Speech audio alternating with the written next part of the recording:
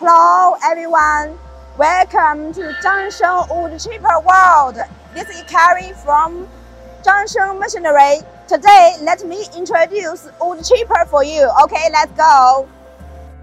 This model 2110D drum wood chipper has a capacity of 15 to 25 ton per hour. The wood logs can be crushed into uniform wood chips with a size of 20 to 100 mm, which can be adjusted through the spring. The branches, bolts, and other material can also be crushed.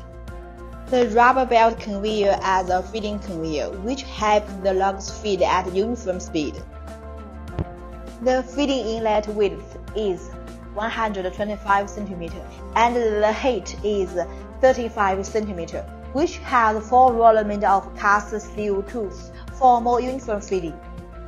This drum wood chipper is equipped with bearing box made of cast steel, which is durable.